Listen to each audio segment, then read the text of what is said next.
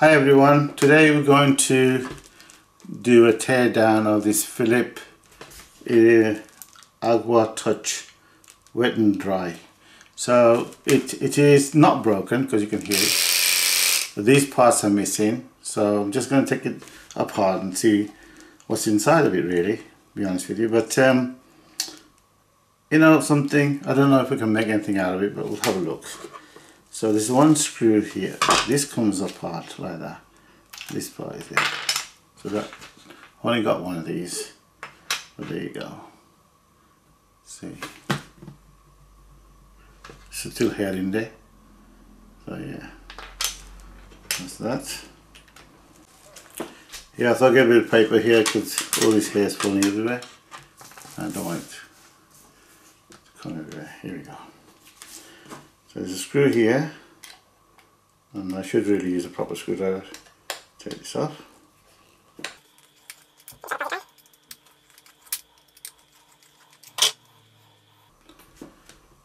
I'm not going to, uh, I'm not interested in putting this back together again.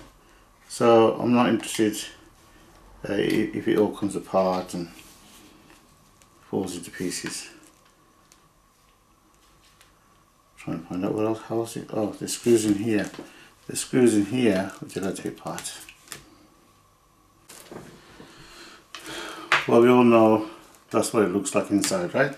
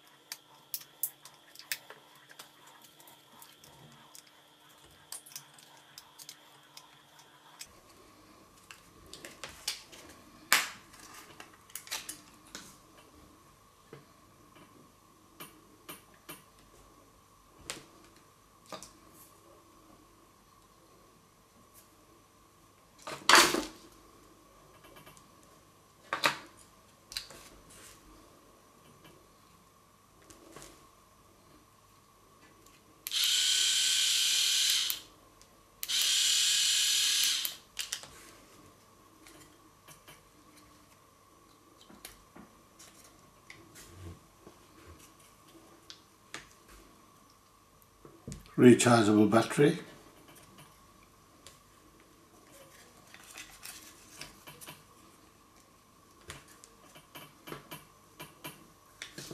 And the motors inside there.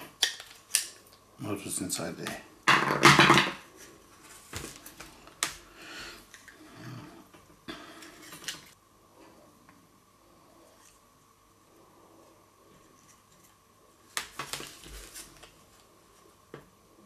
charging port.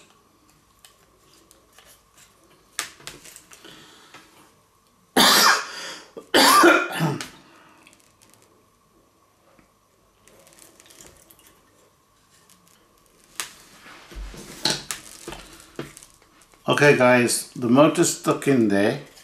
Uh, I can't see a way of taking the motor out yet, so I'll get back to you in a minute. Although, get back to in. Okay guys, after a close inspection, this is like a sealed unit. I was contemplating on cutting it out just to have a look, but I pushed on the motor here you can see the motor, see the motor there. I pushed up and then the whole thing came out like that. There you go. So there it is. Whole unit is out like this. That's what it looks like. And I'm not interested in this because this is a lovely gear thing. There, see, all the gears work. I mean, you know, so you could make something out of it I suppose if you think about it but uh, I'm only interested in taking the motor out so I'm not sure how well this motor fits it's got a it's, it's obviously geared into it so I don't really want to break it if I can help it.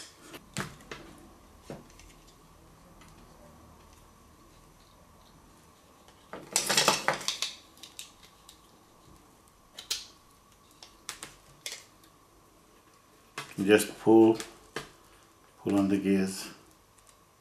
You can see. That's that's the uh, there you go beautiful.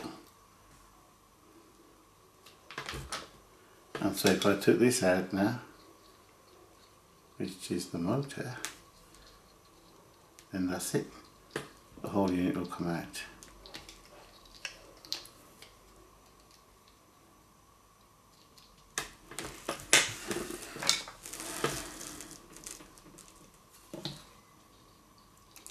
I don't think it's I don't think it's uh, got a screw or anything, it just popped on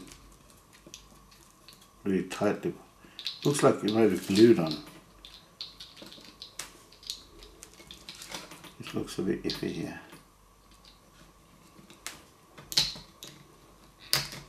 There you go. There you go guys. The gear is out. That's your gear and there's another gear inside oh, there you go. Have a look at that. So that's your real gear in there with the screws in there. And this attaches inside of that one and turns it nicely.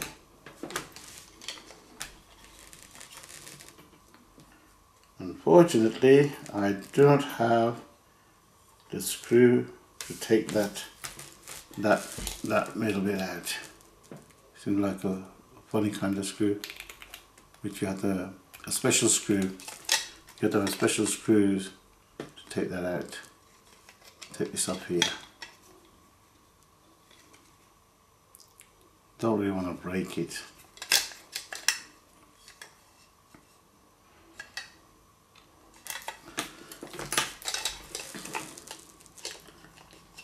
So I'm going to say that's a tear down sorted because all it needs to do is take them two screws out which, which are not screws which I, I haven't got a screwdriver for that. Well, let me see if we can try. Get back to you. Okay guys, I had a look for something to open this up and I can't find nothing at all. So I'm going to leave it there I think we'll call this a tear down because end of the day, you only got to take these two things off and it'll all come out there. It'll all come apart. And the other way I could do is cut these wires and bring it out or unsolder them from here, unsolder them from here and bring the whole thing out of here. I'm just, I just don't really want to destroy this because in case I want to make something with it another time. So thank you for watching. Subscribe thumbs up. And as you know the um, obviously you saw how I took it all apart. So if you want to change blades or whatever you want to do so you know how far you can go what to do with it